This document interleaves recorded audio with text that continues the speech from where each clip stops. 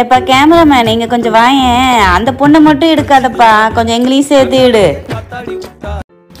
சுமதி நான் பார்பிக்கு ஃபோன் பண்ணேன். எல்சாவும் பார்பியும் கிளம்பி வந்துட்டு இருக்காங்களாம் நம்ம எல்லாத்தையும் ரெடி பண்ணலாம் வாங்க.